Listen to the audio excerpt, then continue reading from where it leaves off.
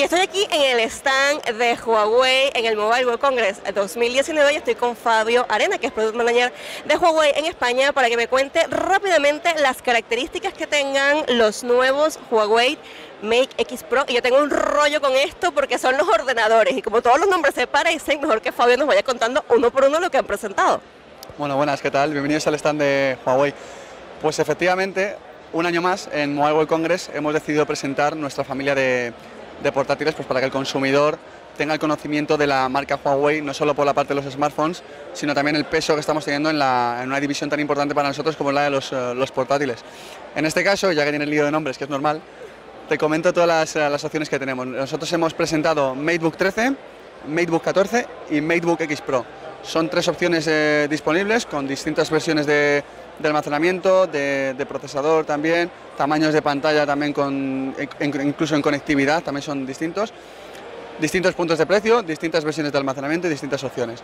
El MateBook 13 eh, es un dispositivo con pantalla táctil, finalmente la versión que llega a España no, incorpora la pantalla, pantalla táctil. Hay dos versiones, o un i5 en cuanto a procesador, un Intel Core i5 o un i7, con distintas opciones de almacenamiento también, 8 de RAM y 256 GB de almacenamiento o 512. Y luego tenemos la versión también del MacBook 14, también con este tipo de configuraciones de almacenamiento, la pantalla en este caso de 14 pulgadas con resolución 2K. Y los tres modelos incorporan sensor de huella para el desbloqueo. Y por último, el MacBook X Pro. la joya de la corona, ¿no? El top top. Efectivamente, el Pro siempre es la versión más, más alta en nuestro caso.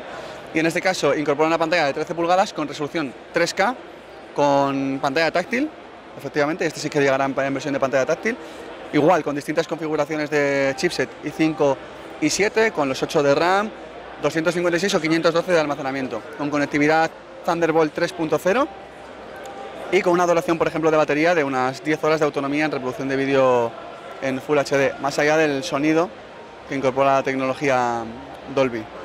Y eso nos da también pistas sobre la productividad, ¿no? Porque una batería que dure tanto nos da pistas para la productividad. Y en la presentación, de, en la rueda de prensa que ha hecho Huawei en este Mobile World Congress, has mostrado una serie de mejoras que tiene lo que es la función de Huawei Share, creo que se llama, y que te permite es como aprovechar todo el ecosistema, ¿no? Pasarte documentos, información de un móvil al ordenador. Vamos a estar viendo imágenes de eso mientras nos explicas un poquito las funciones que tiene.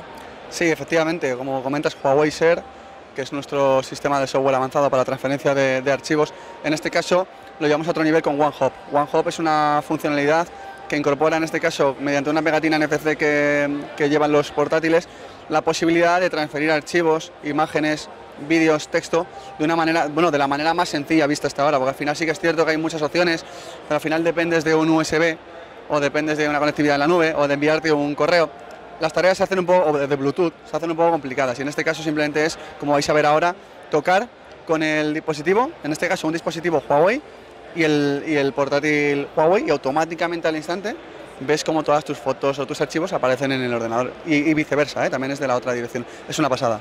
Y si solamente me dices para equipos de Huawei, cualquier terminal de Huawei o, ciertos modelos. Dispositivos de Huawei smartphones que incorporen la versión de MUI 9.1 en adelante, ¿vale? que es una versión de software que se actualizará eh, en breves y con esta versión y con el portátil podrás ya realizarlo. ¿Cuándo llega al mercado esta propuesta, el, Pro, la versión Pro? Pues todavía no tenemos confirmación exacta de cuándo, cuándo, van a llegar estas variantes y además en función del almacenamiento y demás habrá distintas opciones que llegarán a nuestro país. Como te he comentado, por ejemplo, el MacBook, eh, el MacBook 13 quizás llegue sin pantalla táctil, el MacBook 14 no llega a España, eso sí te lo, te lo confirmo, pero bueno, en cuestión de 3-4 meses máximo para la vuelta al cole yo creo que nos podemos pensar ya o para Navidad nos podemos pedir un ordenador de estos y ya con el móvil de Huawei para que aproveches todo lo que es el ecosistema. Muchas gracias Fabio. Yo voy a seguir dando un recorrido, pero como ves este mobile no va solamente de móviles, también va de soluciones de ordenadores, por ejemplo, que compaginadas con el móvil nos hacen más productivos en el día a día.